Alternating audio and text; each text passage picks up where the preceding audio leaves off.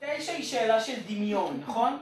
מה עשו? לקחו, קיפלו, חוררו, הפכו, ברדקו, זה בעצם הרעיון. זה, זה מה שהולך פה. לקחו קובייה וניסרו אותה למנסרות, אפילו מציירים לנו את זה, ושואלים כמה פאות יש לכל המנסרות ביחד. מה עושים? ניקח מנסרה אחת, נסכום את כל הפאות שלה, ונכפיל את זה כפול ארבע. מצוין. אז בואו ניקח את המנסרה הזו, כמה בסיסים יש לה? שתיים. אחד למעלה, אחד למטה. שני בסיסים. וכמה מסביבים יש לה? שלוש. כלומר, כל אחד מהם זה חמש, וכמה כאלה יש? ארבע עשרה.